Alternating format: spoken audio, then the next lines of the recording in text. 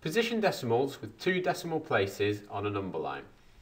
Let's take an example, 0.67 and 1.54. If we draw a number line out,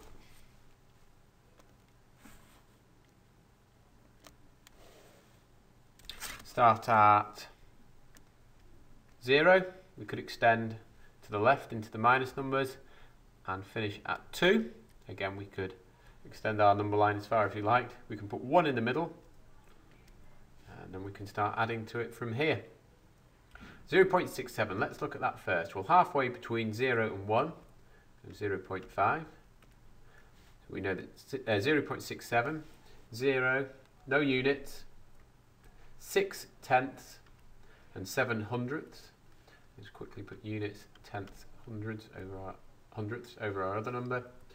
Uh, we first of all need to find where 0.6 is on our number line. So that's 6 tenths. So we've got um, 5 tenths, 6 tenths, 7 tenths, 8 tenths, 9 tenths, 10 tenths. Let's make that a bit better.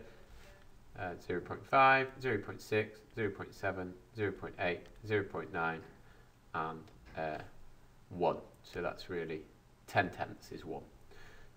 Not a very accurate scale, but we're okay. We're just drawing freehand to make the point here. We've got 0.6 here, got 0.7 here. 0.67 falls between 0.6 and 0.7. Let's make the brush slightly smaller and change colour for this bit.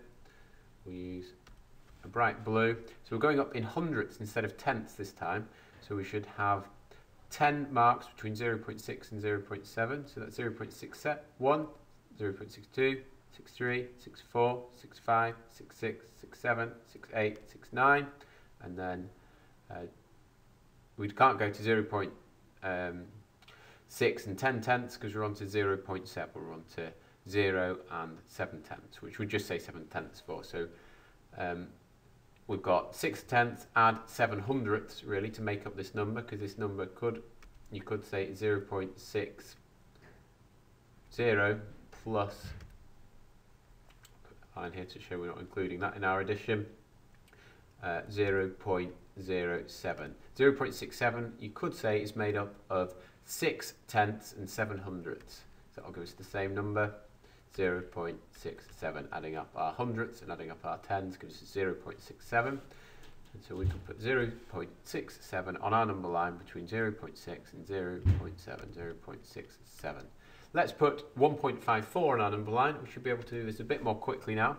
Between 1 and 2, we've got 1.5, 1 and 5 tenths.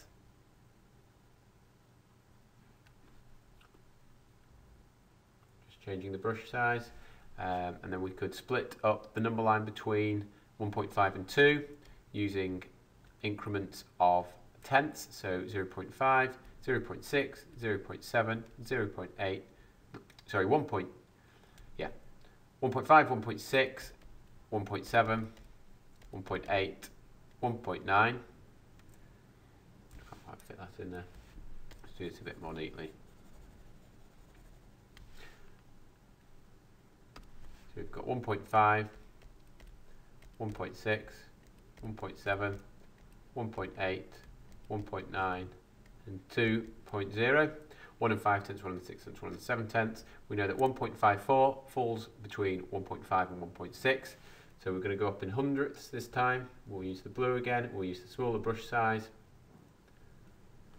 We've got 1.51, 1.52, 1.53, 1.54, 1.55, 1.56, 1.57, 1.58, 1.59 and 1.6. 1.54 is just under halfway between these two. 1.54. 1 and 5 tenths plus 4 hundredths and that will be the same as 1 and 5 tenths and 4 hundredths. What we'd say to keep it easy is 1.54 and that's how you place these on the number line. You can see from this diagram that 0.67 is further to the left so it's a lower number than 1.54. Another way of phrasing that is 1.54 is greater than 0.67.